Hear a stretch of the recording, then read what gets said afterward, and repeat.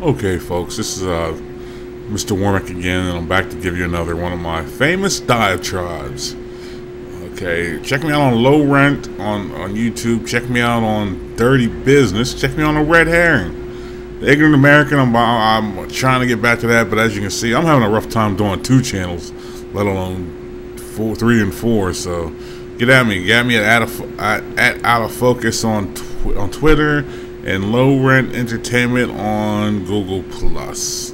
Today we're going to talk about the affirmative action, the, the decision made by the Supreme Court, or the affirmative action, the ruling.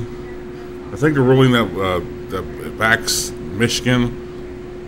You know, what it was is Michigan, the, the, the university school system, I guess, had a ban on affirmative action for students and uh, it was upheld by the Supreme Court six to two.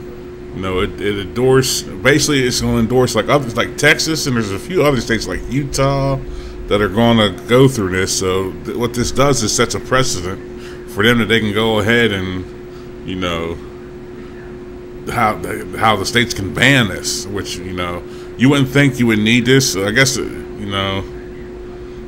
I mean, I, I, guess the, the, the, the, they were fighting like for this, like the people, like they were saying, uh, they're trying to protect racial and ethnic minorities. But it's also a slap in the face saying that you uh, racial and ethnic minorities need this. When you look at it, it's the educational system. I mean, yes, in a perfect world, everybody should be judged as the merits of their, their what they do, but we know that is not the case.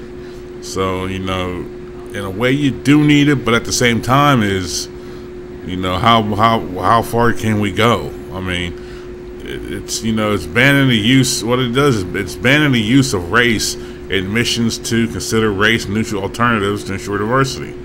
Now, if you want diversity, I mean that's one thing, but like just it's like this: if you're just going to admit a black person just to admit a black person, and what if that black person drops out? I'm not saying it does. I'm just giving you a scenario. But what if the black person drops out?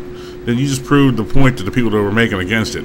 But I mean, I know that is not the case all the time. But uh, the justice is basically they they it was six two and it was a uh, it was basically a lot of conflicting it was conflicting views. But in the, the majority of the justice, you know, there was varying degrees of like the six that agreed. There was varying degrees of you know sw- swaying towards one way or the other. But they said that the policies affecting minorities do not involve intentional discrimination. It should be decided at the like what it was. It was it was voted for the, by the voters. So they're saying the voters' vote should be upheld, which is strongly contradicting the thing about gay marriage in California, Proposition Eight. But nevertheless, back to the subject at hand. Uh, but Sonia Justice Sotomayor, uh, she said, you know, the, the Constitution requires several you know, special vigilance in the light of history of slavery, Jim Crow, and discriminations to violating state voting laws.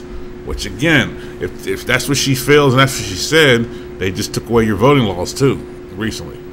You know, it's just I don't think that the justices didn't want to debate this too long because it's not about how about racial preferences should be resolved. You know, it, it, to me, it's like who's going to resolve them? Should the Supreme Court have a say so in this? I mean, I, mean, I know it's not getting to the point where it's slavery, but you never know. But uh, there's slow. And here's what gets me is there's other people and myself who have talked about this, but people don't want to. Now people are talking about it because what it happened. It's after the fact, folks. What happened is people should be more vigilant themselves.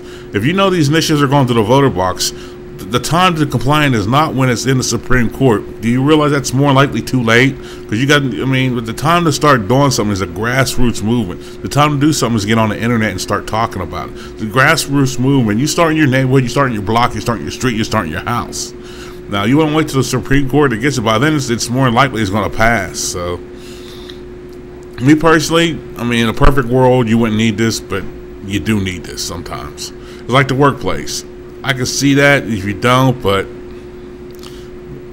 I always been a person who worried about my job and done has done my job. So I feel uh, hopefully I got uh, my job and do the, my, the merits of my work. But at the same time, I know everything ain't the Disney Channel either. You know what I mean? So it's it's it's another deterioration of your rights, and, uh, and the bad part about it, you don't say nothing until after the fact. So what are we supposed to do?